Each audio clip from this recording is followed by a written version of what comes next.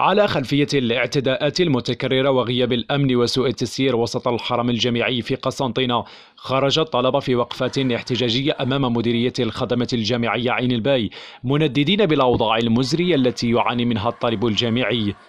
الجامعة اليوم أو الحرم الجامعي اليوم أصبح ملاذا آه، لكل المجرمين واللصوص. كيف لا؟ ويحرمون طالبات في سيارات أجرة مع امتعتهم من الدخول. وفي حين يسمح بدخول أصحاب السيارات الفخمة والنفوذ. رانا نتعاملوا في معاملة سيئة جدا. معناها نجوم ديارنا لهنا باش على الأقل يوفروا لنا يعني آه، مش أبسط الأمور هي الإطعام والنوم في أمن. بكذا مكان والنقل غياب النظافة وانتشار الآفات الاجتماعية أضحت أمورا ظاهرة للعيان وعلى المكشوف.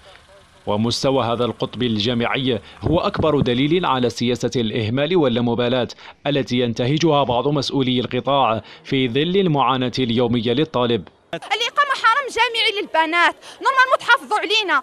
لو كان كان عنده أخته ولا بنته ما يديرهاش كما راهو يديروا لنا حنايا. لأنه بطبيعة الحال ما يحسش. هو في فرنسا ومن أوتيل مش واقف مش يراقب الخدمات.